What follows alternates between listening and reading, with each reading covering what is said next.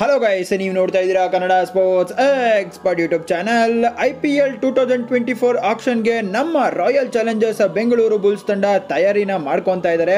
ಹಾಗೆಯೇ ನಮ್ಮ ತಂಡಕ್ಕೆ ಒಂದು ಹೊಸ ಹೆಡ್ ಕೋಚ್ ಬಂದಿದ್ದಾರೆ, ಅವರೇ ಆ್ಯಂಡಿ ಫ್ಲವರ್ ಇದೀಗ ಆ್ಯಂಡಿ ಫ್ಲವರ್ ಅವರು ಐ ಪಿ ಎಲ್ ಆಕ್ಷನ್ಗೆ ರೆಡಿ ಆಗಿದ್ದಾರೆ ಅಂತಾನೆ ಹೇಳ್ಬೋದು. ಐ ಪಿ ಎಲ್ ಆಕ್ಷನ್ನಲ್ಲಿ ಈ ಒಂದು ಆಟಗಾರರನ್ನು ಟಾರ್ಗೆಟ್ ಮಾಡೋದಕ್ಕೆ ರೆಡಿ ಆಗಿದ್ದಾರೆ ಅವ್ರು ಬೇರೆ ಯಾರು ಅಲ್ಲ. ಮೊಹಮ್ಮದ್ ಅಮೀರ್ ಅವರನ್ನು ಪರ್ಚೇಸ್ ಮಾಡೋದಕ್ಕೆ ನಮ್ಮ ಆರ್ ಸಿ ಬಿ ತಂಡ ರೆಡಿಯಾಗಿದೆ ಅಂತಲೇ ಹೇಳ್ಬೋದು.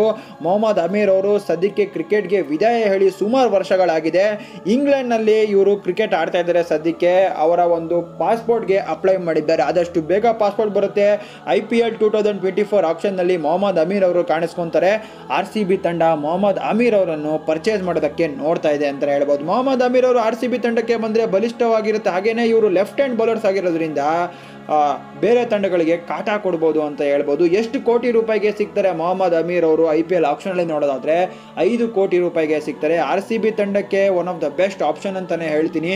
ಆ್ಯಂಡಿ ಫ್ಲವರ್ ಅವರಂತೂ ಖತರ್ನಾಕ್ ಕೋಚ್ ಹಾಗೆಯೇ ಒಳ್ಳೆ ಪ್ಲೇಯರು ಕೂಡ ಆಗಿನ ಕಾಲದಲ್ಲೇ ಅವರು ಒಳ್ಳೆ ಹೆಸರು ಮಾಡಿದ್ರು ಆ್ಯಂಡಿ ಫ್ಲವರ್ ಅವರು. ಹಾಗೆಯೇ ಎಲ್ಲ ಎಕ್ಸ್ಪೀರಿಯೆನ್ಸು ಕೂಡ ಇದೆ.